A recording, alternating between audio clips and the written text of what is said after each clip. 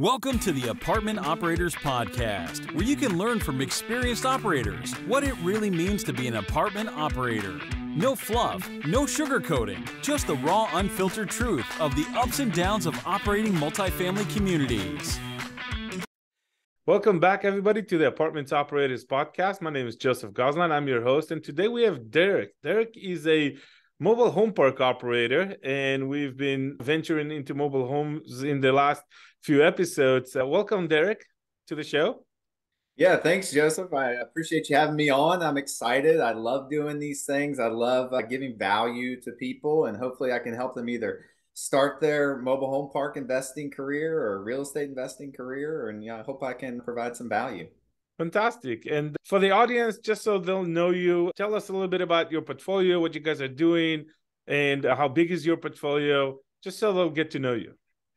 Yeah, so we have just about 2,000 lots of mobile home parks, about 38 mobile home parks in the Southeast. 21 of those are in the state of Florida, where I reside.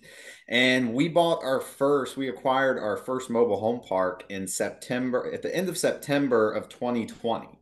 And so we grew extremely rapidly here in the last two. It's been crazy, and we can talk a little bit about the pitfalls of that. So it's great to grow fast, but it does not come with without some growing pains and headaches.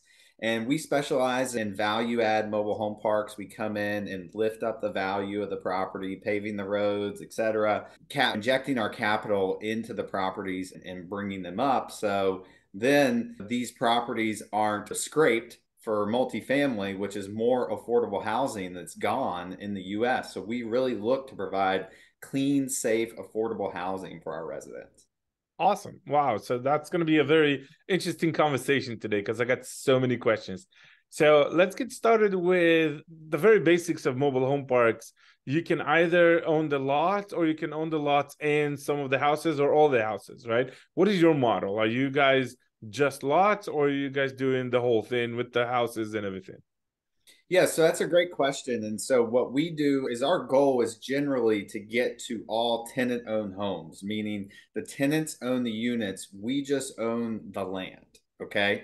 But we actually will buy parks that where we own all the units and there's a lot of vacancy there's not many people living in these parks. So then we can actually sell those houses and create affordable housing there but also we can actually then bring everybody up to market lot rent then which allows us to create a lot of value. And i think in the last two years we brought on something like three or four hundred houses of affordable housing that were abandoned or vacant that wouldn't have been brought up had we not came in and injected our dollars into these properties. So that's yeah, the general how we do it. So it's a little backwards than what people do, but we like to buy them when we own them and then turn them in to where the tenants own the homes. That's fantastic. So, out of your 2000 lots, give or take, how many of them are park owned and how many of them are already either tenant owned or in the process of being purchased from the park? Yeah, so I think around the portfolio, I was just looking the other day, we have around like a buck 75, a buck 85 homes that we don't own that we're in the process of selling in one way, shape, or form now. So I would say 90% of the portfolio is tenant owned. And I think here within the next six months to a year, we should have all those tenant owned homes. Oh, yeah, no, that's fantastic. That's a great rate. And how many of them are financed by you guys? So roughly? we, so, yeah. So interestingly enough, like we don't really underwrite the home sales value into our underwriting because we want to come in, we want to provide families with clean, safe, affordable housing. So we'll take a house that we could sell on the market for 15, 20, 25,000 and we'll sell it for $5,000 to somebody. We'll take a home that we could sell for 50,000 and we'll sell it for 20,000 we really want to give people the opportunity to get affordable housing because there's not a lot of it but that's one of our goals. So we really don't underwrite the cost of the home in the in our underwriting for the properties Interesting. That's that's an interesting approach. So let's talk about the big questions, right? That we always ask everybody: third party or self management.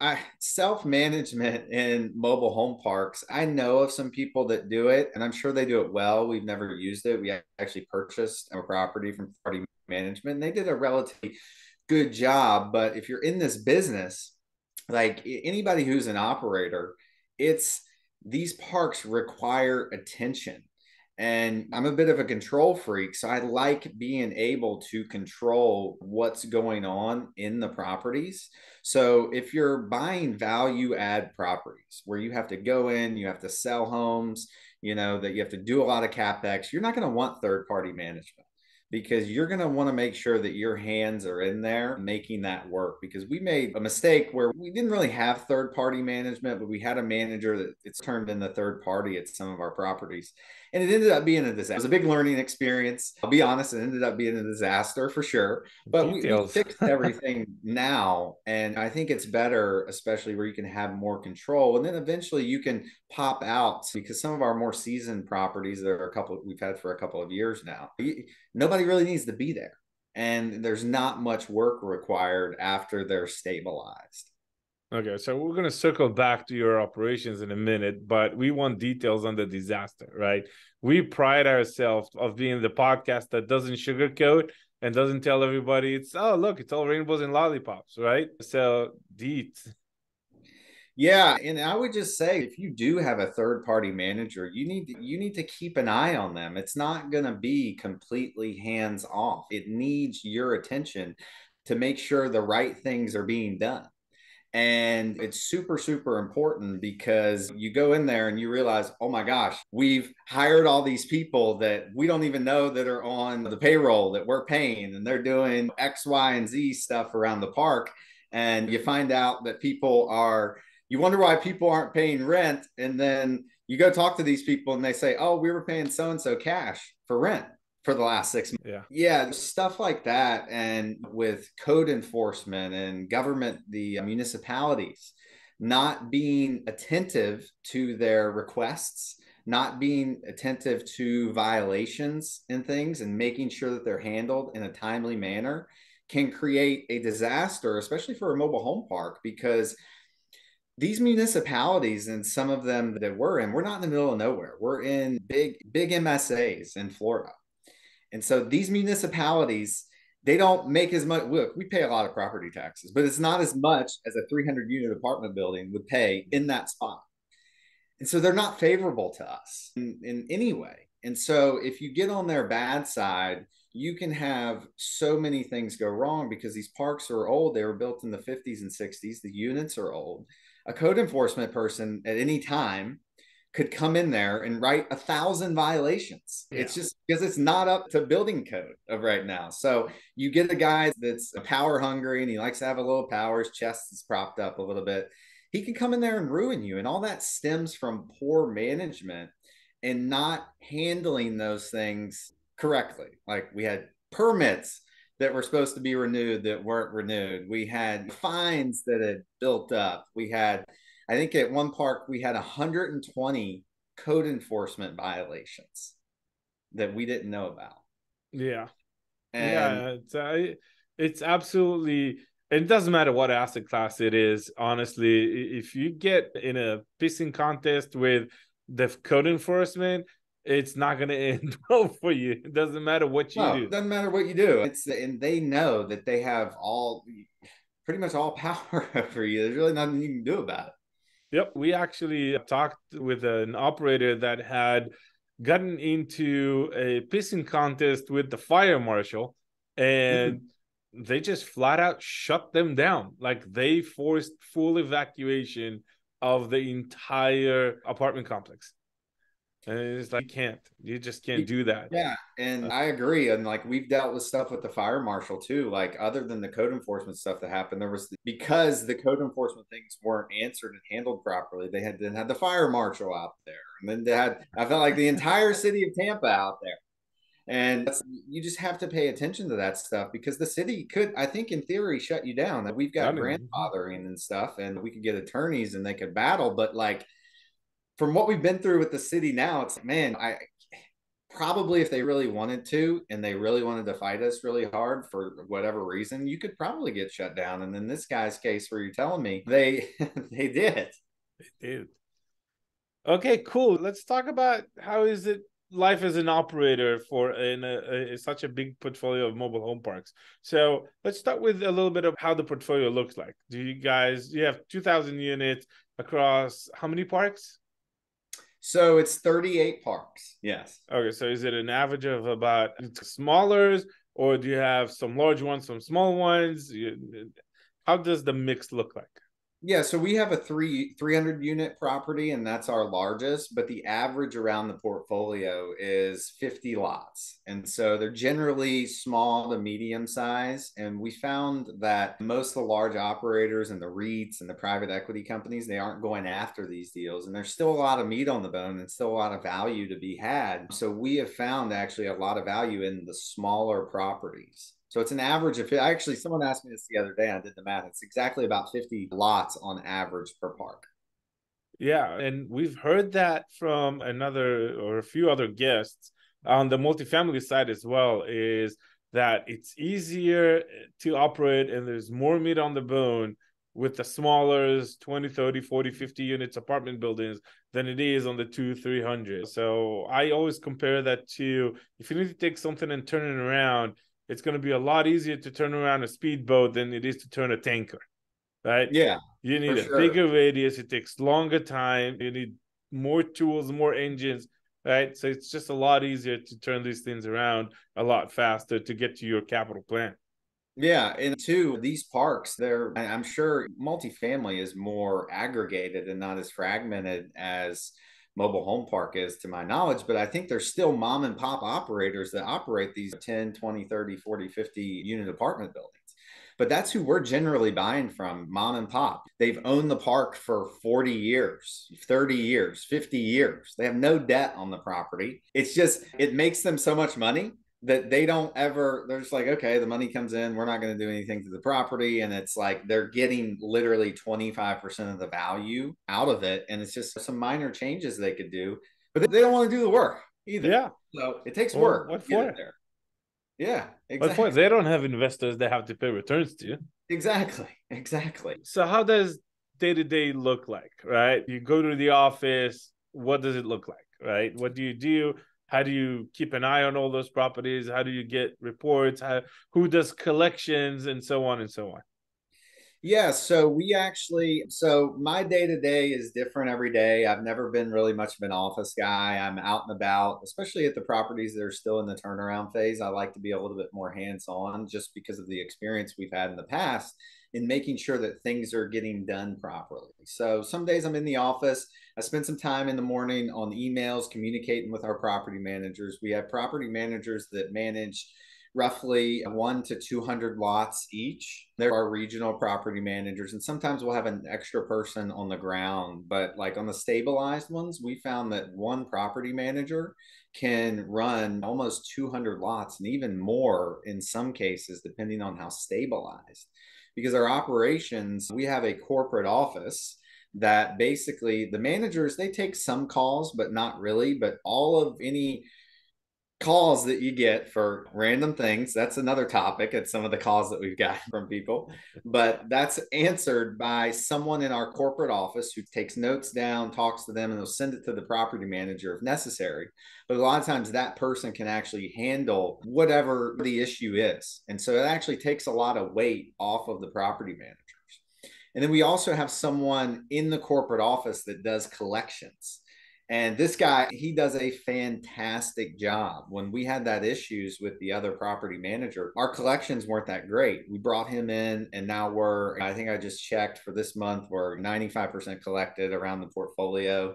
So we're, you know, doing phenomenally there now. And so we also have another lady in the corporate office who handles permitting and different things, administrative things like that. But generally, we have everyone pay online. There's no money orders, no checks, no nothing. Everyone pays online, which it sounds like, okay, that's a no brainer. It's 2022. In the mobile home park business, it's it's a little bit more difficult of a task than you would initially think when some of these mom and pop owners like when I was doing deal the deals with these guys, I would go into their office at the first of the month. And Joseph, I kid you not, they've got a stack of cash, like stack of cash. One property, it was actually a set of three properties we bought. We were asking for proof of the income coming in. Okay. I get pictures on my phone of stacks of cash on the sixth of the month or something. Like, okay, here's the proof. I'm like, really? Yeah. So it's it's very interesting. Yeah, we call those shoebox owners, right? Because you ask for P and L, they give you a shoebox full of receipts. yeah, yeah. I've never heard that term, but I'm gonna I'm gonna start using that because that's exactly what they are. I've got a, a guy I've been working now. He's a mom and pop guy. He developed this park. The dude's 90 something years old. And I was like, I'm just gonna bring you a duffel bag full of cash one day and we'll finally get this deal done. And he's like, oh, I already got enough of that. yeah. Yeah. How do you deal with maintenance? Do you have any maintenance? Because you have about 100, you said 170, 180 houses that are still parked owned. So you got to take care of those. Yeah, and the interesting thing, yes, there there is some maintenance, and I think generally the park-owned homes, yes, they have some maintenance, and some of them are more of a headache than others, but it's actually not as as much as you would think. So, for example, some of these parks that we bought, like I mentioned before, they're they were developed in the 50s. The infrastructure is shoddy at best in some places. They have these old water lines, old sewer lines, they get clogged. Some of these properties were 50, 60, 70% vacant when we bought them. And no one's lived in those houses in forever. So when you put people in them, it puts strain on the infrastructure that wasn't there before, been there in a while. So you've got sewer clogs, you've got water leaks. And so we have probably one or two maintenance people, I think, something to that effect, every four, or 500 lots to assist with those water line breaks and things like that. But if it gets major, we've got some handyman services. We've we've got plumbing companies that come out. What we've learned is that pay more to do the job right. Don't pay less and save a thousand bucks now because you're going to come back and Joe Smith, the plumber, didn't do a good job and you got to do the work. And we've actually we've talked about really eliminating maintenance and just using handyman companies and just using plumbing and companies and things so you don't have to manage those people because it's just one extra thing that the property managers have to deal with. Yeah and hiring these days is very challenging right? Oh yeah. Uh, but we went actually the other way around. So we decided that we were in a certain market that getting qualified plumbers and qualified vendors was challenging. Like you say, Joe Smith comes in and he does a crappy job and then comes back and he still does a crappy job. And then you have to hire another company to fix his crappy job. Uh, yeah. And you end up paying, and they all overcharge you. So yeah. we ended up just buying a lot of equipment and mm. training our own guys to handle anything.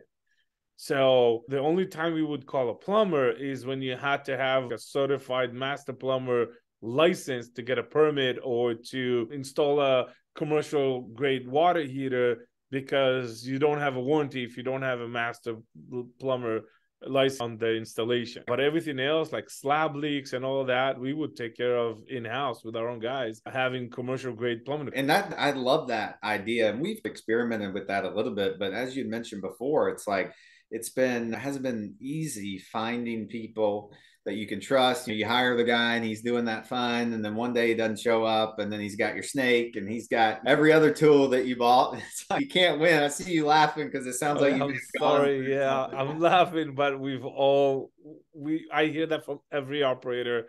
I hear that from every vendor and every business owner in the last three years. Is it's really hard to find, hire, and retain good talent. It's just yeah. very hard. So how do you guys deal with that? How do you because you still have people, you, whether it's property management or or the collection guy or whoever picks up the phones or maintenance. How do you deal with hiring and retaining people? Yeah, so we this was one of the things we learned the hard way on, and we tried to do this cheaper. And what the consensus is in the mobile home park business: hey, hire someone, pay them five hundred bucks a month and free lot rent. Doesn't work on a turnaround property or a property doesn't need any attention. You can do that. We were trying to hire cheap employees; it didn't work. So we learned how we got quality property managers, dependable property managers, people that we can trust, is to pay them more. So we pay a property manager more than probably most mobile home park operators do, I would say. And that's how we've gotten great talent in, and we've had to pay for it. So we've had to take a cut on our end, but it's hiring talent and it's probably saving us money in the long run because we can trust them and they're not doing shady stuff because they're only making 500 bucks a month and they're trying to figure out how to make more money. That's what we've learned. And especially in this environment and the way things are now, you have to pay someone well or what's their incentive to, to come to work? So it's yeah, well, uh, Chick-fil-A is paying 18, 19 dollars an hour. Yeah, you got to complete. And if you're going to pay 18 or 19 bucks an hour and you're going to have tenants yelling at you and you're ha- you're going to have irrational arguments with tenants, it can be a lot to deal with, a lot of stress. You got to be able to handle a little bit of pressure. And if someone's like, I can just swipe someone's card at Chick fil A for the same amount, I'll do that. Yep. Yeah. yeah. How do you guys, or what's on your menu for taking a property and doing a value add. So the obvious things are increasing rent or charging utilities, which in your case, I'm not sure if you guys have that or not. But what else? What are the creative ways you guys find that you can increase your income? And then we'll follow up with the same question about decreasing expenses. Yeah, so it's really the things you said increasing rents, billing back for water and sewer, billing back trash. We put in individual meters on the homes. And that's really what we've done from an income perspective because these properties that we bought, for example, you know, these properties that we bought in Tampa, I think I mentioned the three package earlier. So these properties were, I think the prior owner like I think he was pulling in twenty five thousand dollars a month. It was one hundred and twenty lots, and that's if everybody was paying. And I think we have those properties pulling in somewhere to 90, 95,000 now, and that's not even from that crazy. It's just getting people into the vacant units, billing back for water and sewer, which they should because people in this park they'd have a pool outside. They fill it up with water and the owner's fitting the bill. They got a sprinkler outside or something crazy. And so we've really kept it simple as far as adding value, filling in vacant lots, which we've done some of, but it's really selling these vacant units and getting good families in them that are going to pay. And that's really how we've increased the value of these things. Okay, that's great. How about reducing expenses? Yeah, and so some of the same stuff, billing back for water and sewer, really looking at economies of scale, having that one regional property manager handle multiple parks, buying and aggregating parks in areas so you can get those economies of scale. Because if I have a, a 60 lot park that's out in the middle of nowhere, I've got to hire a separate property manager. But if we've got 10 properties in an area that are 50 lots each, we can hire one property manager with maybe an assistant or something and get that economy of scale. So that in turn reduces expenses. Also if we've have companies and treatment plant operators we've looked at aggregating those guys to more properties to reduce some expenses as well. But the typical bill back stuff has helped and the and we actually have our office monitors the water leaks on a daily basis. We get a report every day. Hey, this unit has, they've used however many thousand gallons. It seems irregular. And so then we can send that to our maintenance crew that's over those properties and they can go check that because the people, they don't want their, like, they don't want to have to a $400 water bill. But if they have a leak in their house, they're going to have to pay a $400 water bill. Typically, we work with them and so, unfortunately, in the affordable housing business, these people may not even have the money to do it.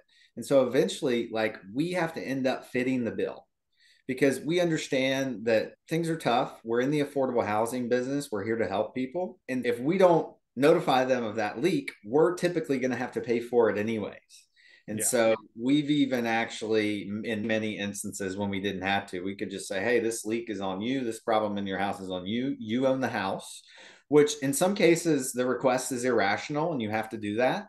But in the case of something like water, we'll be more than happy to send our maintenance guy in there to fix it. and to help our tenants out because we know at the end of the day we're probably going to get fit with the bill but and it also helps them helps us yeah so we were creating a habit of checking the meters every week and just keeping track of the meter to see which one goes haywire and just tracking the meters every week was a lot more efficient than waiting for the bill because the bill comes in about a month and a half too late. Yeah, yeah. So if you're waiting for the bill, we're already losing, bleeding money, right? For a month yeah. and a half, at least a month and a half. So that's really where we got into the habit of just sending our maintenance guys to read the meters once a week. Yeah. Do you guys have digital meters? Or they like analog where they have to go read them? Mix and match. So the digital meters only came in last year and a half or so. Yeah. Uh, but we still have we have one property that has one main meter which is digital, but each and every unit has its own separate sub meter, and those are analog. So those okay. actually somebody has to go and read them. Yeah, yeah, yeah. So you mentioned earlier some lessons about growing too fast. What can you share? Yeah, and I think, look, I, I'm like a go big kind of guy. So it even pains me to say some of this. I'll be honest with you. If you're going to go fast, you need to make sure that you have the infrastructure the pro- infrastructure i mean by employees the staff the trustworthy staff to help you the systems and processes in place because we bought 20 turnaround properties in 2021 okay and so like we would have been really busy if we would have bought like a quarter of those we would have still been like crazy in getting these things turned around and so i would just say that's a lesson learned like you can and this pains me to say it, like you can have too many projects going on.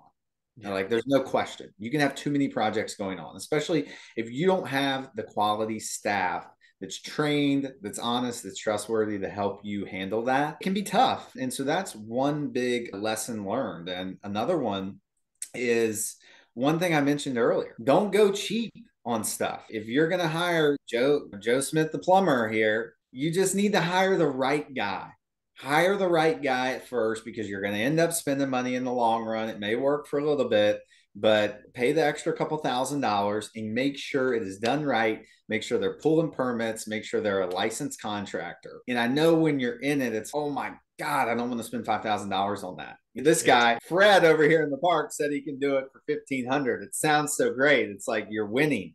But actually, in the long run, if he screws it up and then you end up having to pay the guy $5,000 anyways. So you actually end up paying $6,500.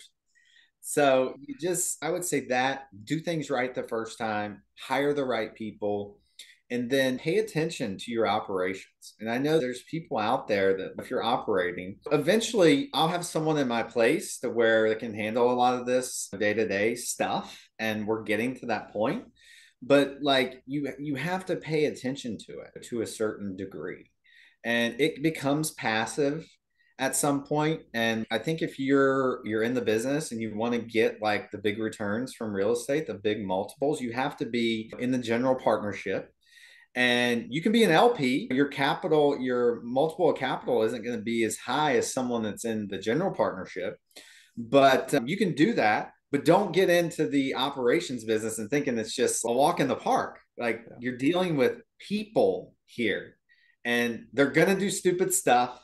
They're you're going to evict someone that hasn't paid for 12 months. They're going to call code enforcement and then they're going to cause you a lot of problems. They never called before, but until they get evicted.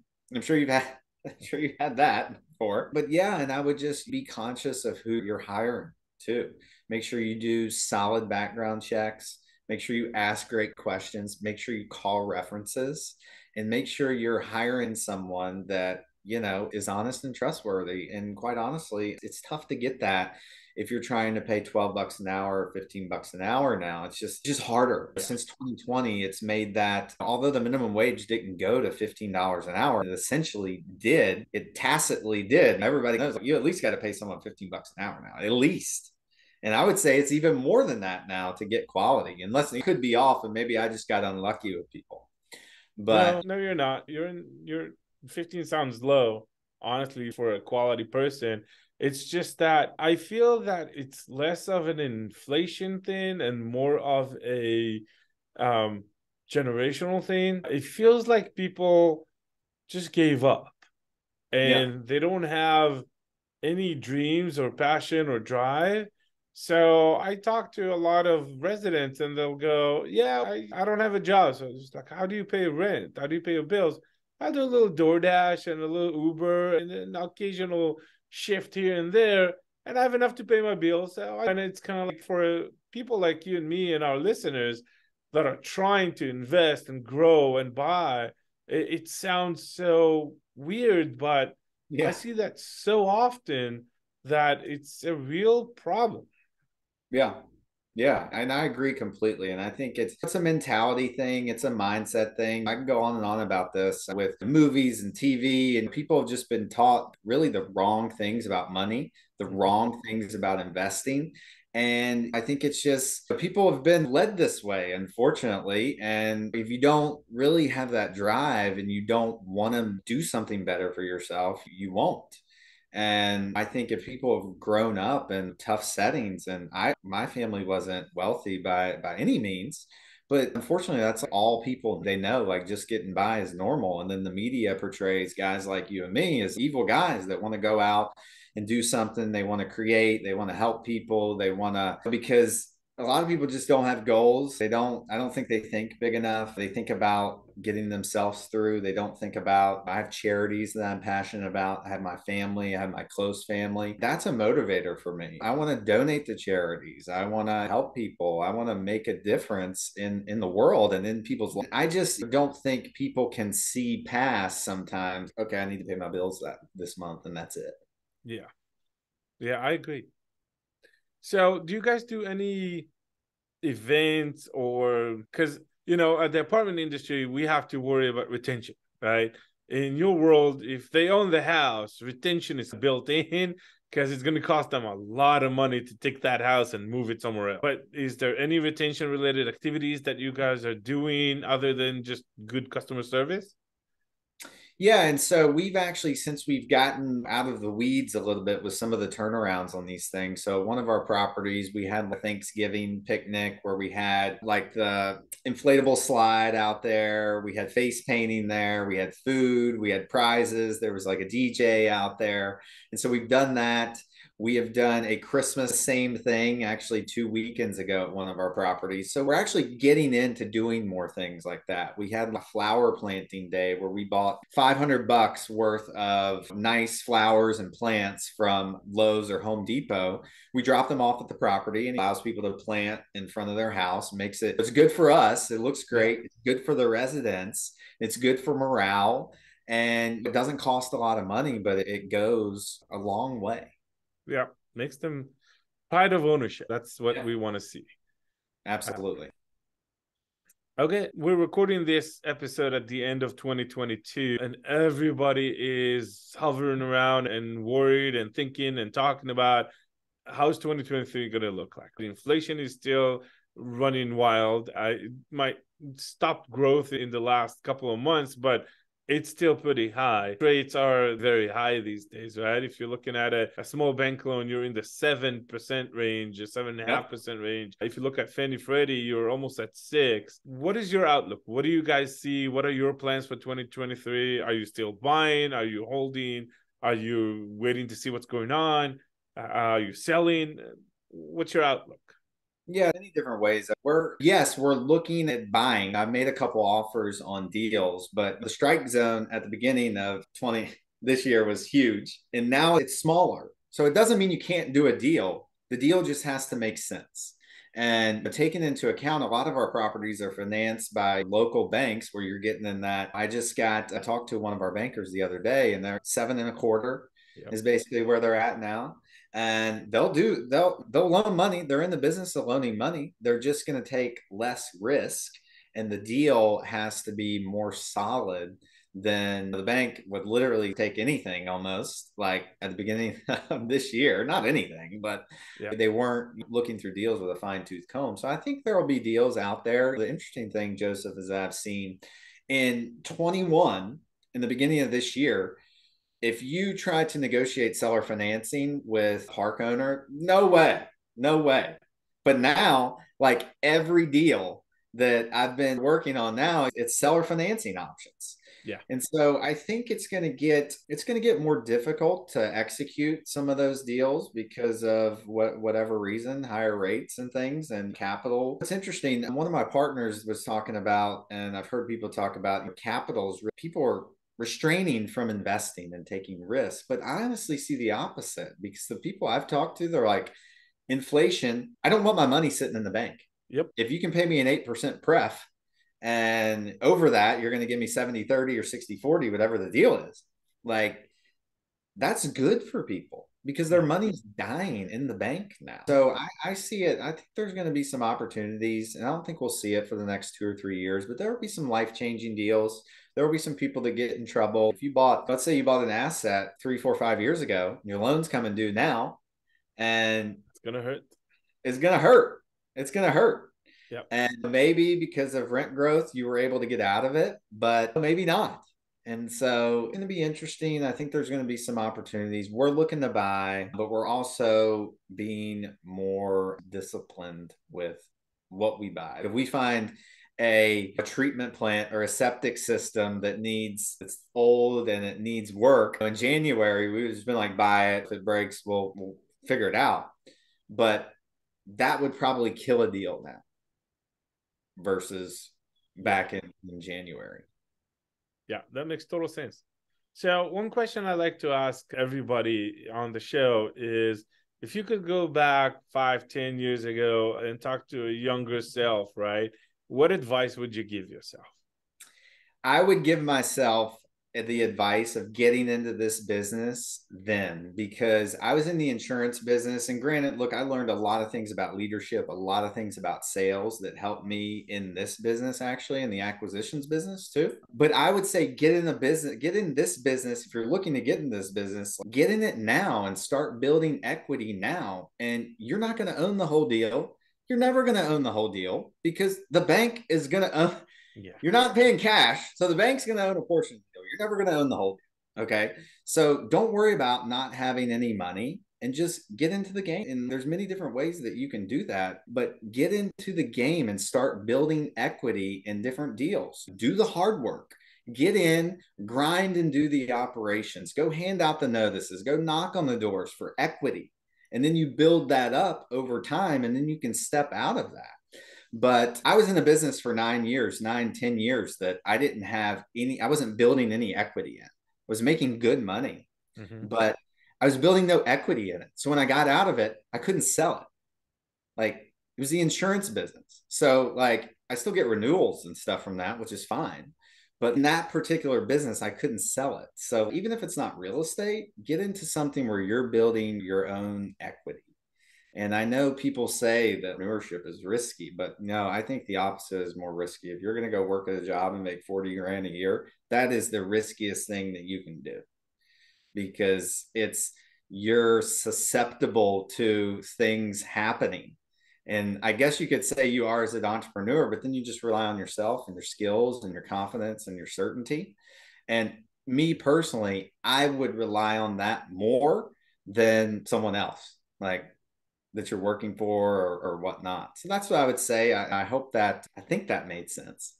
Yeah, no, it makes total sense. It really does. It's, I saw a tweet thread, a Twitter thread the other day that some influencer, right? And that's a lot of the problem today is people just look at people that have a following and they don't vet them. Uh, right. They just well, you just got X amount of followers, so whatever he says must be true. And a lot of the time it's not. So I saw a Twitter thread the other day. It goes, go to work, be good at your job, put as your Roth IRA, which is $6,000 a year. Go home, you'll be fine.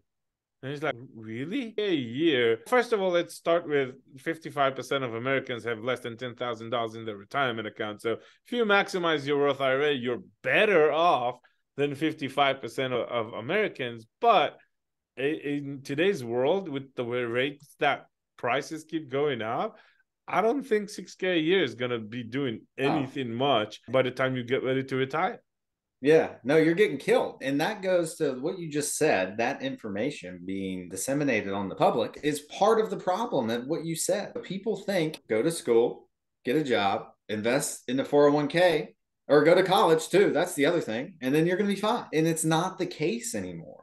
And I think a lot of people have to do some confronting on that and look at that as I'm going to school. Is that the right thing to do?